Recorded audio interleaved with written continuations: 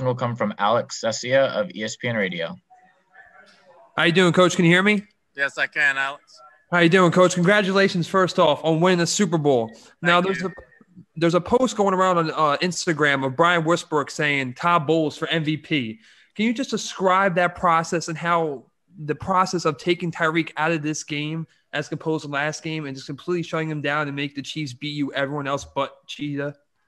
Oh, it's a hard process. Again, he's a great receiver. I, lot, I have a lot of respect for Tyreek Kelce as well. But the guys studied. We studied the first game and studied the rest of the games, and you know, we came up with a game plan as coaches on our side of the ball, and we put together a heck of a game plan last week, and the guys followed it to a T. They believed in it, and they executed it for the most part to pretty good.